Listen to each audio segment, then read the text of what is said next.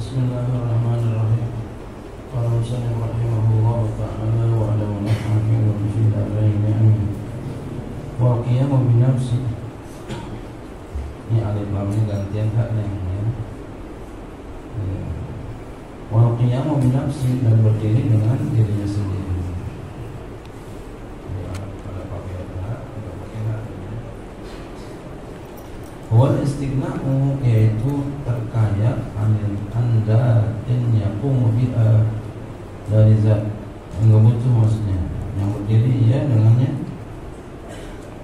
ya.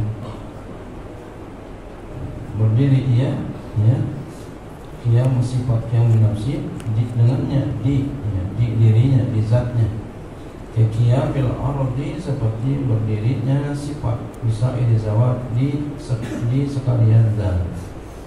Sifat berdiri di zat, sifat ada di zat. Wal istighna'u 'anil mawjud 'anil mujidi wa la yansha'u ta'ala an ghairihi.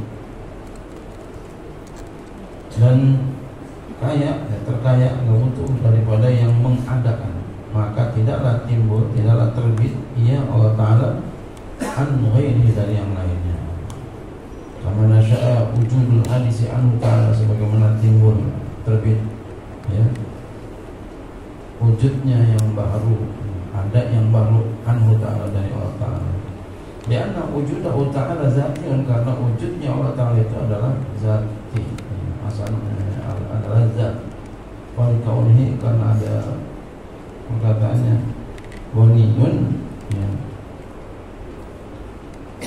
Ya, yang maha kaya. Mufassirun itu menafsirkan Jelaskan dikali bagi perkataannya Qaimun yang berdiri Ay anna makna qiyamillahi ta'ala binafsihi Istighna'uhu an kulli ma siwahu Wabtikaru Wabtikaru ya, Wabtikaru kulli ma siwahu ilaihi.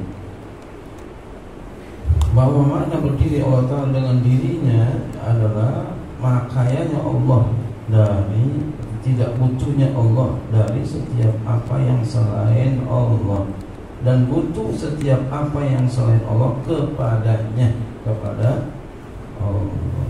Walidzalika oleh karena itu yu'abbar diungkapkan diaktibarkan anil qiyami ya, diredaksikan ya, daripada qiyam binafsi bil istighna'il mutlaqi maha kaya mutlak.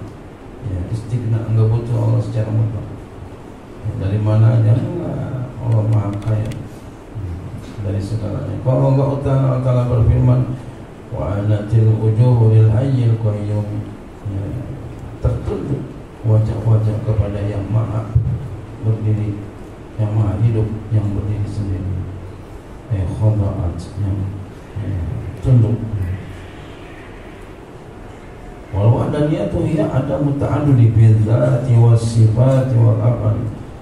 Tidak berbilang-bilang pada zat. Jadi wahdaniyah itu adalah tidak berbilang-bilang pada zat, pada sifat dan pada perbuatan. Enggak berbilang-bilang wahdaniyah. Jadi satu zatnya Allah, satu sifatnya Allah, satu perbuatannya Allah.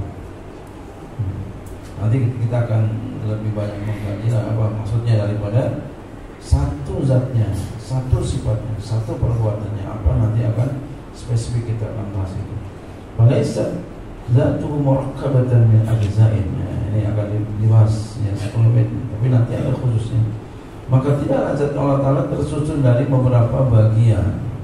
Beda dengan kita, kalau kita ini tersusun dari beberapa bagian. Walaisa fil khalqi zatun kadzatillahi ta'ala Zati ta'ala Dan tidaklah pada makhluk ini Zat Seperti zatnya Allah ta'ala Bi'ana al Kalau makhluk itu Jismun murakawun Jisim yang tersusun. Walaysa fi rabbina syai'un min dhalika. Dan tidak ada pada Tuhan kami sesuatu dan demikian itu Tidak ada tersusun. Allah ada Walaysa sifatu muta'addidatan Min jinsin wahidin Kakudrataini au iradataini. Dan tidaklah sifat Allah Ta'ala itu berbilang-bilang. Dari satu jenis seperti dua kudrat atau dua iradat enggak. Balau kudratun wa idatun ya. bahkan bagi Allah mempunyai satu kuasa. Ya, yujidu biha wa yu'dimu yang dapat mengadakan dengannya ya, dan dapat mentiadakan. Ya. yujidu biha. Allah dapat mengadakan biha dengan sebabnya dengan sebab kodrat iradat.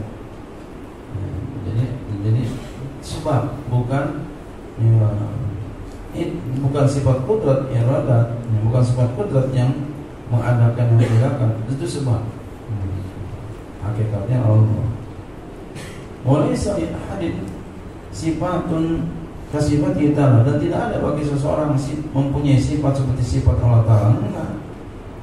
Nggak boleh kita katakan nih kita nih kita bisa berdiri ya berdiri kita lain seperti Allah. Itu juga nggak boleh ngomong begitu. Berarti apa di situ? Ada perbuatan selain perbuatan Allah. Kita nggak bisa apa-apa.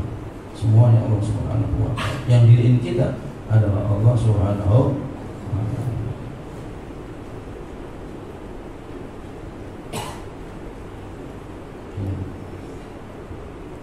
Wala dan tidak ada yang memberikan bekas, memberikan pengaruh fi fi'lin min al pada satu perbuatan dari banyak perbuatan. Bal huwal mujidu lil af'ali kulliha. Bahkan dialah Allah yang mengadakan bagi segala perbuatan seluruhnya. Fa yakhluqu ta'ata wal maksiata wal naf'a wal dharra wal ghina wal faqra.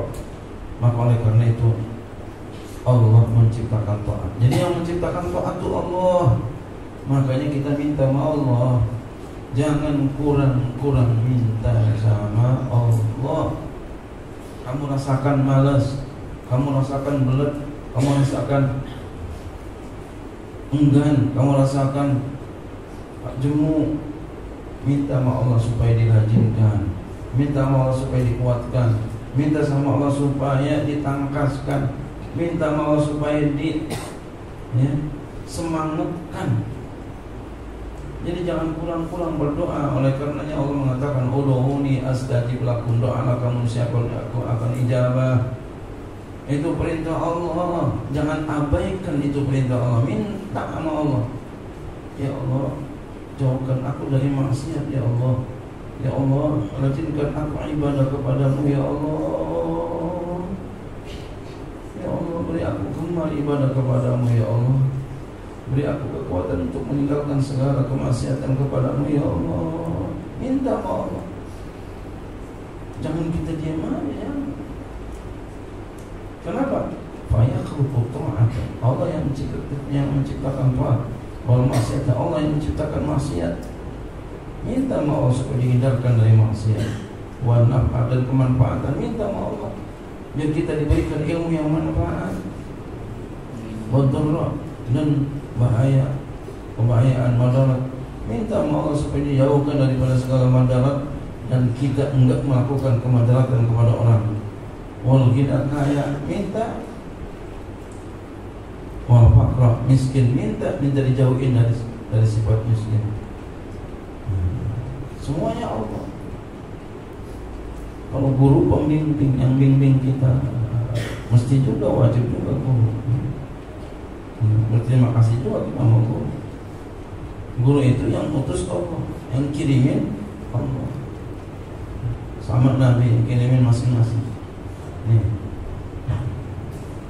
Makanya kuncinya itu kalau kita ngaji adalah guru. Kuncinya pada dekat-dekat guru. Jangan berburuk sangka kepada orang yang sayang kepada kita. Guru itu sayang sama kita. Jangan sampai berburuk sangka. Jauhkan sejauh-jauhnya.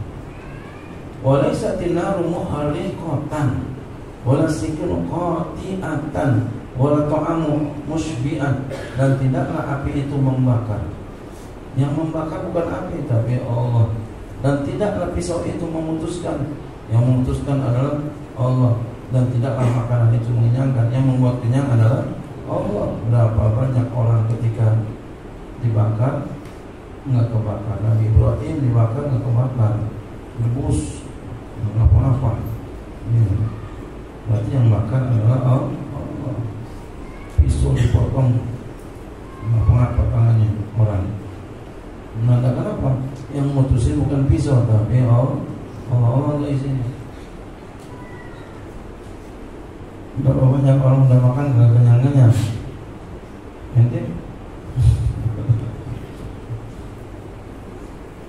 Belum makan, udah sih tadi masih lapar aja.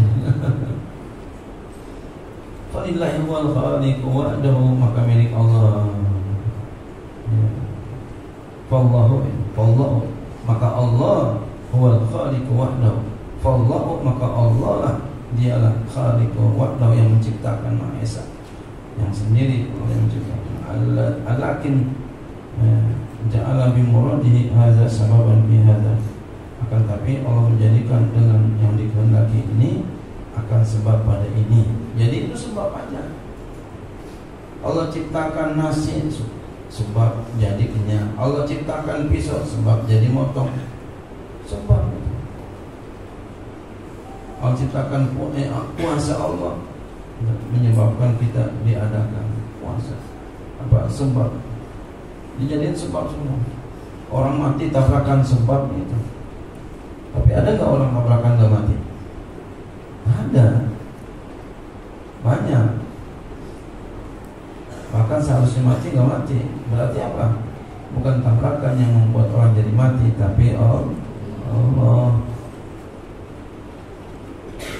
Wa yajuzu dan boleh. Ala yujad ya. Ala yujad al ihraqu ma'anas ma'anari bahwa tidak didapati membakar serta api. Pada dibakar tapi gagal kebakar qala ta'ala Allah ta'ala wa ta'ala berfirman wa ilahukum ilahu wahid la ilaha illa huwa ar-rahman rahim. Dan Tuhan kamu adalah Tuhan yang esa tiada Tuhan kecuali ia yang maha pemberi lagi maha pengasih. Allah